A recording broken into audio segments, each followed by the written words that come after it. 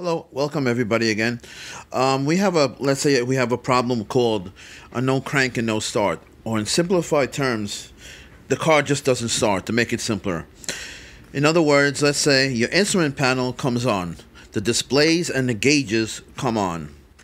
So, first thing comes to your mind is, do you have a connection to your battery? Obviously, yes, because if you didn't have a good connection to your battery, even your instrument panel, your gauges, would not even come on.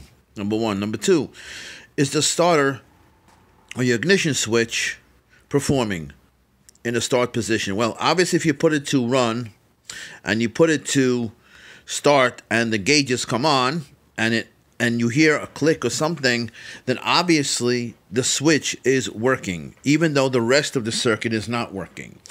Now, how do we prove it? And how do we jump the relays?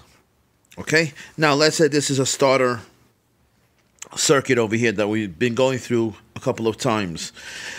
Now, for Honda and all these uh, uh, models, they have a multi-fuse, two fuses common to, to, um, to each other. So we have a terminal here. we have a terminal that's common to another fuse, but this fuse is 50 amps and this fuse is 100 amps. The common line is over here, terminal, and the output is here. So input here from the battery, coming from the battery. the output of the multi-fuse is the white over here, G1 over here, the wire over here. so again, multi-fuse, two fuses together with a common point. Now, we want to jump the relay. Before we do such a thing, we have to understand the circuit going away from the circuit over here, we have obviously the battery over here. Okay, now starting from the battery of the positive terminal over here, we have 12 volts going into the multifuse. We have 12 volts coming out of the, the multifuse also at the white wire. We do not lose any voltage unless one of these are blown. If any one of these are blown, we have to change the whole thing. Now we're going into these junction connectors over here that they have. So from the white wire, we're continuing to A2. This is, I think, believe B1. B1.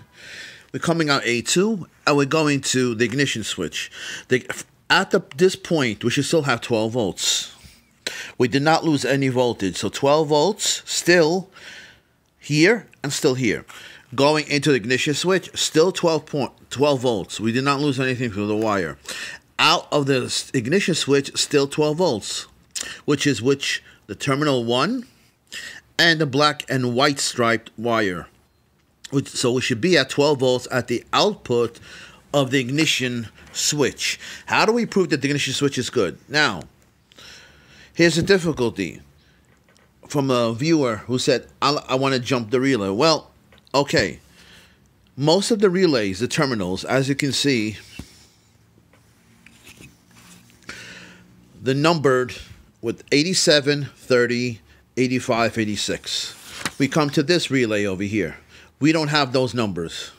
We have four, we have three, we have one, we have two. How do you associate those terminals with this relay? Okay, that we all, always have. So now we ha- now comes the difficult task of trying to figure out let's say if I have the relay over here, if I have the relay and I want to jump it, which terminals are you going to jump?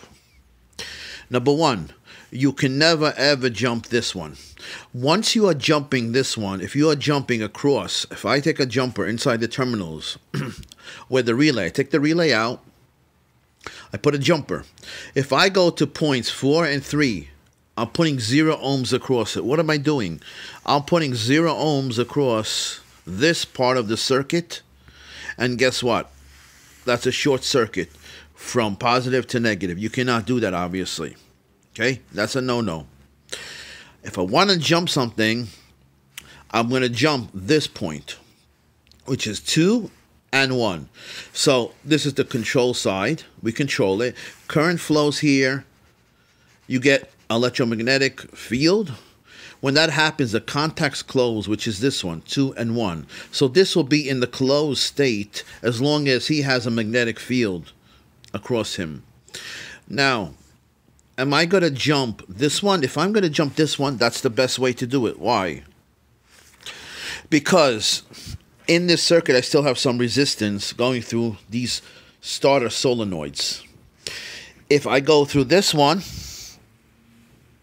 I have absolutely no resistance because I just took out the relay, the coil part of it.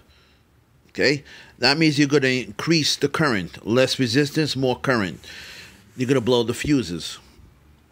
This way, I'm still intact, and I still have some, even though I'm jumping this.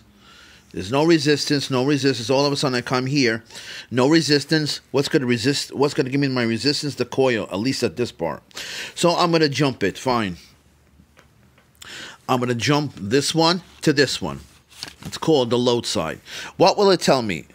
Okay, if this is good, look at the at the trail. Follow the arrows. If this is good, here, here, here, ignition switch, here, here, here, and then through what solenoids, and then it will close the starter, the the the switch, the contacts for the starter motor. so we know if I jump this part, then we know at least if the if the starter is activated or engaged, then we know the multi fuses are good, both of them. We know the junction connector is good. We know the starter ignition switch is good. We know that part of this relay is good, that this is not open. We're not we don't know about this yet, but we know that at least this part is good. We know this solenoid is good, and we know that the starter motor is good, and we know that this heavy wire that carries a lot of a lot of current through it is good. Otherwise, how would the starter motor be activated? So we know he's good, he's good, he's good, he's good. We know the ignition switch is good without even taking it out. We know this part of it is good, and this part of it is good, and this part of it is good. But we're left with is is it a relay problem? Is it a park neutral safety switch problem? How can we know? Take the take the, take the selector, the gear selector, and put it in neutral. You have two positions you can choose. You could put park, which is the normal, the default, let's say, or you could put it in neutral. If it comes on in let's say in neutral, we know we have a problem with the safety switch, with the park neutral safety switch, right? It doesn't come out in both positions. Then we're dealing with other problems, obviously. So now we're left with the relay. Now, how do I know which one to jump? It's not that easy. Okay, and that's why I'm going through this through this video. Like we said, this one over here are numbered differently. Let's say I get a relay on any car. If you understand this concept, you'll understand every car. How do I know? Now, I'm going to go, this is the typical relay. Okay? This is what you're looking at. This is the relay. Now, here are 86 and 85. 86 is here. 85 is here. 87 is here. 30 is here. So this is 12 volts. This is 12 volts. I'm going to jump this part. Always jump this part. So which terminals am I going to jump? I'm going to jump 87 and 30. Always these two. Always. These two, these are the two that you jump. This is the arrow to indicate. These are the two you jump. You never jump these. This is a no-no. This is the one that you jump. So which ones am I going to jump? I'm going to jump 87 and 30. Regardless of the relay of anything. That will tell me starter motor is working, the ignition switch is good, the fuses are good again, and this park uh, neutral safety switch is good because I'm going through it, correct? What am I left with? I'm left with the relay. Now, how do I know which terminals are which on the relay? Okay, this is the hard part. Okay, as you can see, hopefully you can see it. I'll show you. Okay, now there are they are numbered, and this is hard to see, but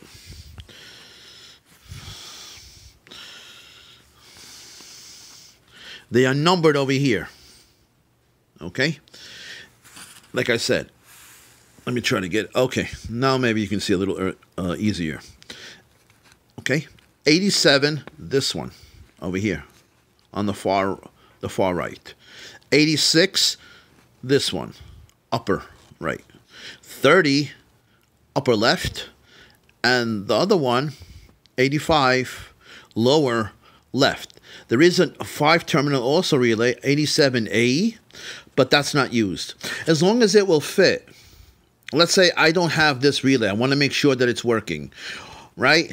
as long as I have four terminals and it'll fit, fine. If I have five terminals on the relay, I cannot put it in a four terminal, obviously. So as long as it will fit and I know what I'm doing, I can bypass it. So here we're going to go. Now we're going to put this. Which ones am I going to jump? 30 to 87. Let's find them. As you can see, and it's hard to see, I, I marked them in red. This one and this one. These two. Oops, these two. They are marked in red. If you look at it, okay, 87, 30. These are the ones that I'm going to jump.